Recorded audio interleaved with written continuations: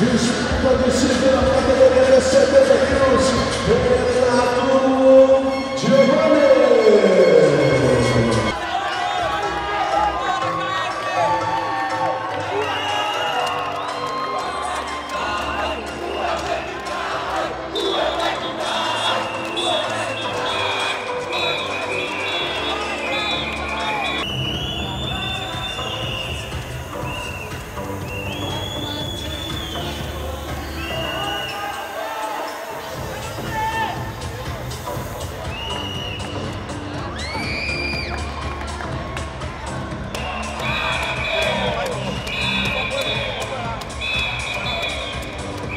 Stop!